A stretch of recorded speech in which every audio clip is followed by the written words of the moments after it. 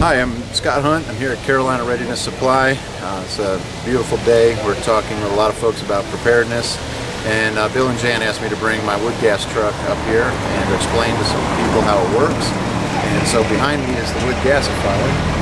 And a wood gasifier is basically a, a machine with one moving part that converts any biomass, any wood, switchgrass, trees, leaves, sticks, you name it, as long as they're dry, converts it into gas. 20% hydrogen, 30% carbon monoxide.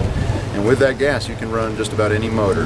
Run trucks, motorcycles, generators, and we brought my old 62 Ford up here to show folks how it works. So we're converting biomass into wood gas and then running any engine. Um, it is EMP proof.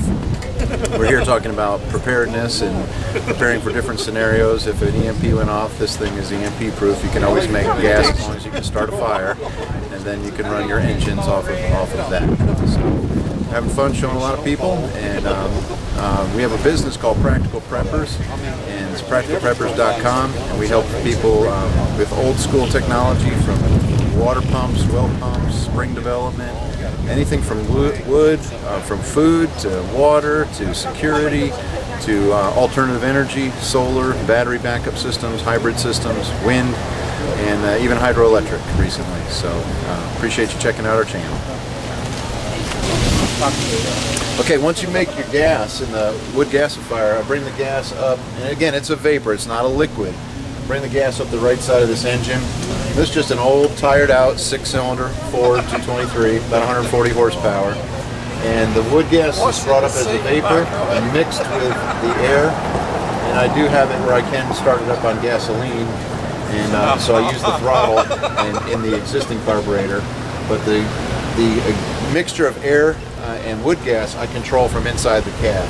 And that's it, it's pretty simple. It's even simpler on a generator or a stationary setup where the RPMs are fixed. Uh, again, I have an 1800 RPM generator there. It's a propane generator converted over to wood gas.